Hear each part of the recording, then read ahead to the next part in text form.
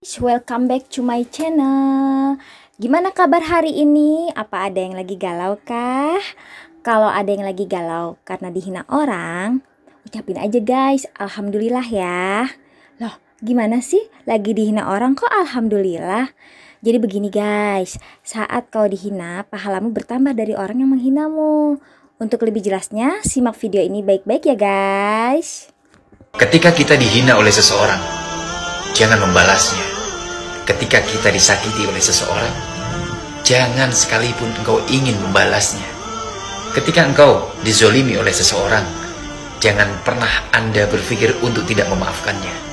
Sahabatku, bisa jadi mereka adalah orang-orang yang saat ini dipergunakan oleh Allah agar kita mendapatkan pahala ketika kita ikhlas